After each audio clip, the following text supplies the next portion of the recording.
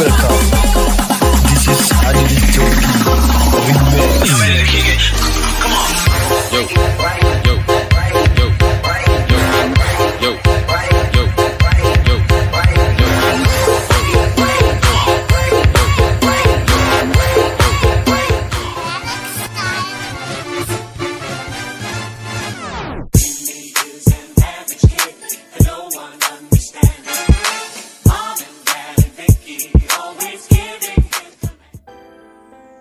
Oke teman-teman langsung saja di sini untuk langkah yang pertama kalian masuk dulu ke aplikasi CapCut kalian kemudian buat proyek baru.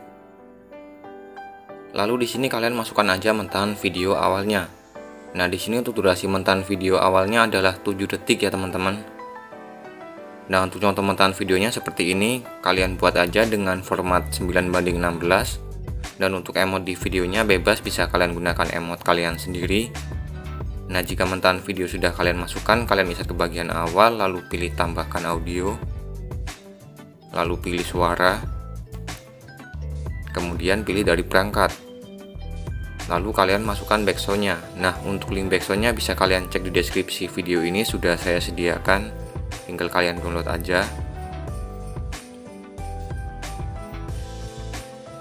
Nah, jika backsound sudah kalian masukkan, langsung saja kalian klik kemudian pilih gabung potongan. Nah, di sini tinggal kalian buat aja tanda di setiap bit musiknya. Di sini kalian klik tambahkan irama untuk membuat tandanya. Di sini kalian play aja musiknya.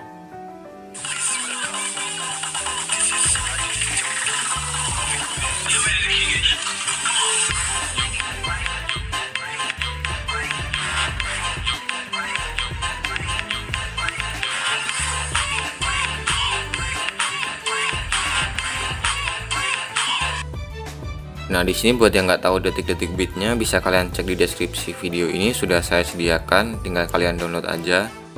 Nah, jika tanda beat sudah kalian buat, kalian centang aja. Lalu di sini langkah selanjutnya kalian geser ke bagian mentan video awalnya. Nah, di sini untuk durasi mentan video awalnya kalian paskan aja ke bagian tanda beat pertama ya. Kalian paskan durasinya ke bagian tanda beat pertama. Nah, seperti ini. Jika sudah, kalian klik icon plus di bagian sini Lalu kalian masukkan 4 foto yang sudah kalian sediakan.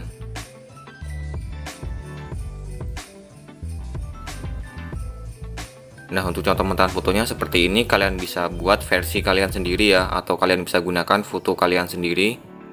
Nah jika sudah dimasukkan ke empat mentahan fotonya di sini untuk mentahan foto yang pertama kalian klik lalu kalian ubah durasinya menjadi 3,7 detik kalian ubah durasinya menjadi 3,7 detik Nah, atau kalian paskan di bagian tanda bit di bagian sini. Kemudian untuk foto yang kedua juga sama, kalian panjangkan durasinya menjadi 3,7 detik. Nah, seperti ini kalian paskan ke bagian tanda bit seperti ini atau kalian atur menjadi 3,7 detik. Dan untuk foto yang ketiga juga sama, kalian ubah durasinya menjadi 3,7 detik. Nah, kemudian untuk foto yang keempat, kalian paskan durasinya ke bagian akhir backsoundnya. Nah, jika semua mentahan foto sudah kalian atur durasinya, di sini langkah selanjutnya kalian geser ke bagian mentahan foto yang pertama. Nah, di sini di bagian mentahan foto yang pertama kalian klik aja. Lalu di sini langkah selanjutnya kalian potong-potong aja mentahan foto yang pertama ya di setiap tanda bit yang ada di bagian mentahan foto yang pertama. Kalian geser saja ke bagian tanda bitnya. Kemudian pilih bagi. Pokoknya kalian potong-potong aja di setiap tanda bitnya ya.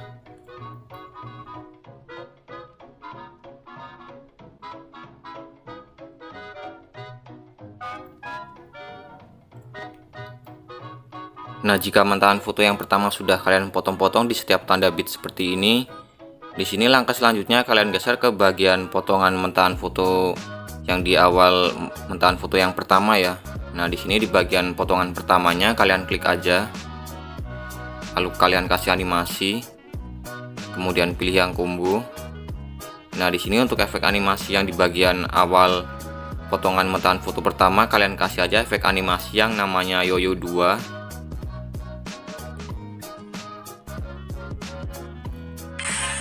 Nah, jika sudah dipilih, kalian centang. Lalu kalian geser ke bagian akhir potongan di bagian mentahan foto yang pertama. Nah, di sini di bagian akhir potongan mentahan foto yang pertama kalian klik aja lalu kasih animasi kemudian pilih yang combo Nah, di sini untuk efek animasi di bagian akhir potongan mentahan foto pertama kalian kasih aja efek animasi yang namanya yoyo 1.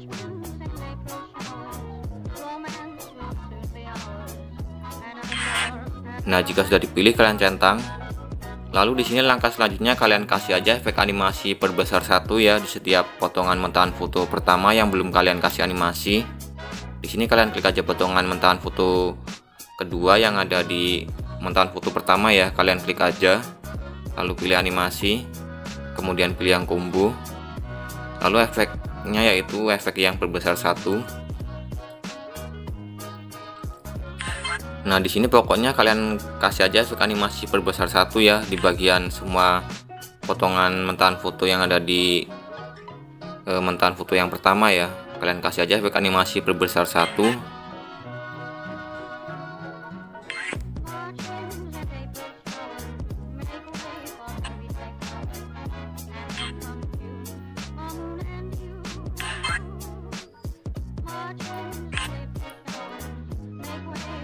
Nah jika semua potongan mentahan foto pertama sudah kalian kasih animasi otomatis untuk hasil sementaranya akan seperti ini.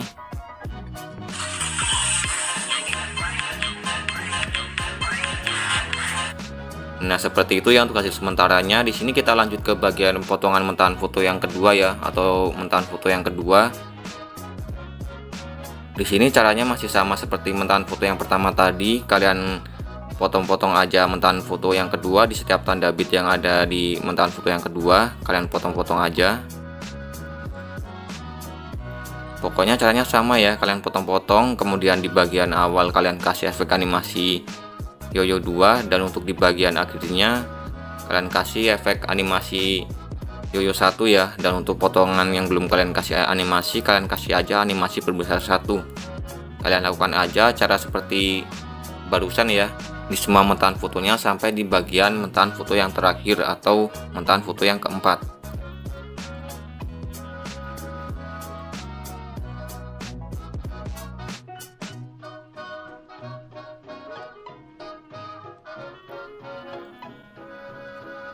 Nah jika cara di bagian mentahan foto yang pertama sudah kalian lakukan ke semua mentahan fotonya otomatis itu hasil sementara videonya akan seperti ini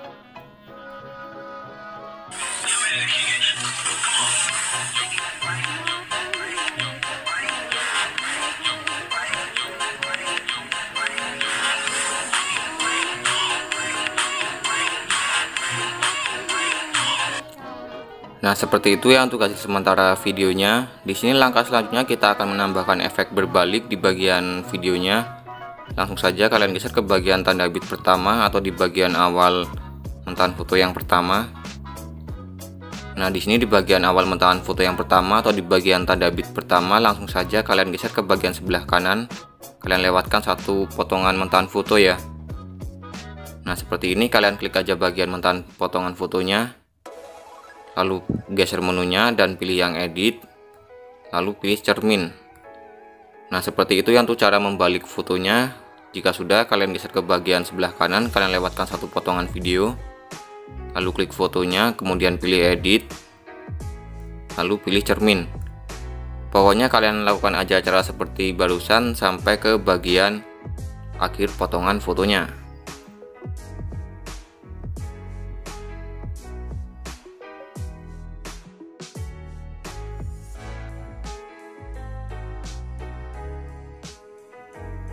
Nah, jika efek cermin sudah kalian tambahkan, di sini langkah selanjutnya kalian geser ke bagian awal mentahan videonya. Nah, di sini di bagian awal mentahan videonya kalian klik aja efek.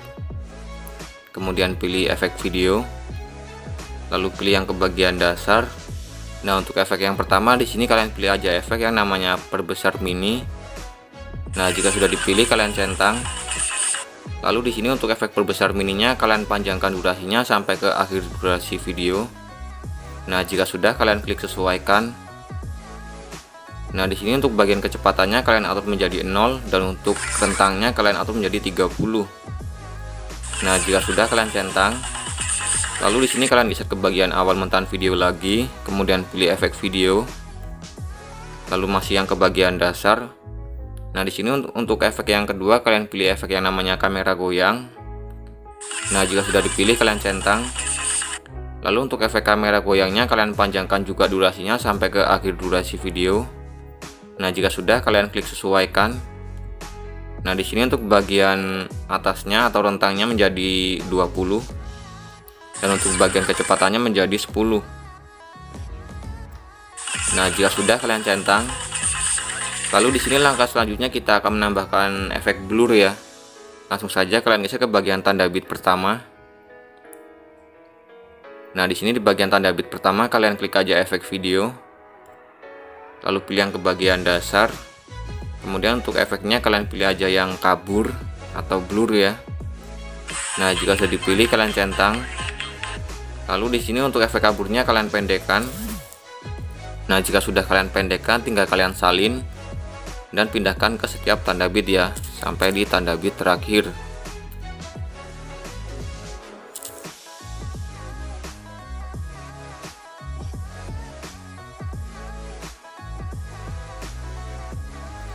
Nah, jika efek blur sudah kalian tambahkan ke semua tanda bit seperti ini, di sini untuk langkah terakhir kita tinggal menambahkan efek flash warna putih ya di bagian videonya.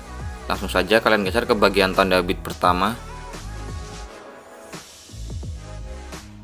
Nah, di sini di bagian tanda bit pertama kalian klik aja overlay, kemudian pilih tambahkan overlay, lalu pilih yang stock video, kemudian pilih background yang warna putih, lalu kalian atur ukurannya sampai menutupi layar. Nah jika sudah kalian klik gabungkan. Kemudian pilih yang overlay. Jika sudah kalian centang lalu di sini untuk overlay warna putihnya kalian pendekkan durasinya menjadi 0,2 detik. Nah jika sudah tinggal kalian kasih animasi kemudian pilih yang keluar lalu pilih yang pudar keluar.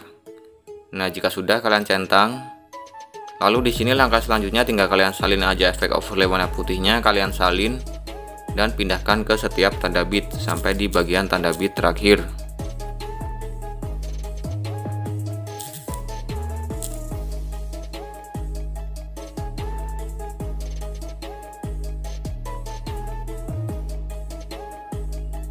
Nah, jika overlay warna putih sudah kalian tambahkan ke semua tanda bit seperti ini, di sini ada satu lagi ya yang ketinggalan. Kalian bisa aja ke bagian awal mentahan videonya. Nah di sini kalian klik aja bagian mentahan videonya. Lalu kasih animasi. Kemudian pilih yang combo. Nah di sini untuk efek animasinya kalian pilih aja efek animasi yang namanya yoyo 1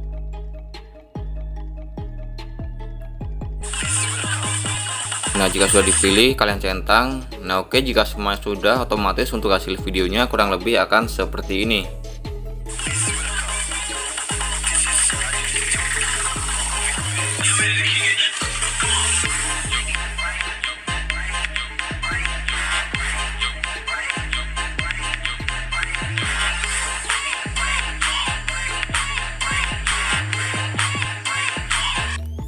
Nah, kurang lebih seperti itu ya untuk hasil videonya. Di sini langkah selanjutnya tinggal kalian simpan aja videonya.